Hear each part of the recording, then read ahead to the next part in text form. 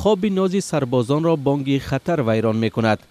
این قسم حربی در شرق تاجیکستان در مرز با افغانستان جایگیر است.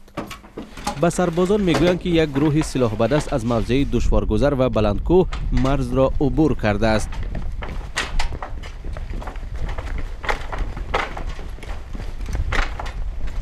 گروه تعینات مخصوصی وزارت دفاع برای بازداشت آنها سفر بر می شود.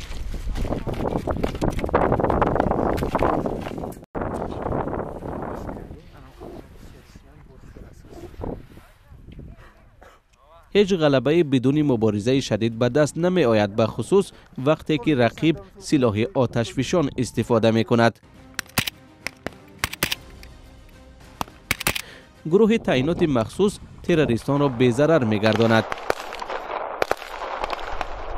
این عملیات تمرینی گروه تازه تاسیس تعینات مخصوص لیژران است که اکنون در هر یک قسم حربی تاجیکستان تاسیس یافته است. قسم حربی که ما داریم در شرایط کوهستان جایگیر می باشند ما آن دانش و ملکه و تجربه که داریم با آن صرفه می نماییم که همه خدمتچیان حربی ما با این شرایط مطابق باشند. ناحیه درواز که برای این تمرین ها انتخاب شده است منطقه استراتژی شمرده می شود. این ناحیه با افغانستان هم سرحد است.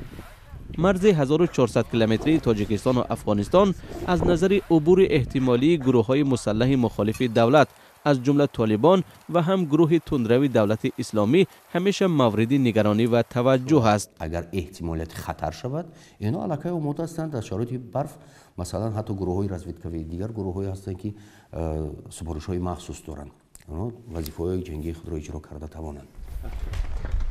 انتخاب سربازان به این گروه ها طبق طلبات مخصوص صورت می گیرد چون که از آنها صبر و نیروی بیشتر می خواهد Э, сарбозоеро интихоб мекунем ки қади баланд ва дасту бозуи бақувват дошта бошанд ҳамарӯза мувофиқи нақша ва мувофиқи ҷадвали машғулиятҳо бо гурӯҳи таъиноти махсуси лижаронҳо ба муддати ду соат э, машқу тамринҳо гузаронда мешавад дар кадом шароите ки набошад мо аз ӯҳдаи вазифаамон бо боварӣ гуфта метавонам ки баромада метавонем.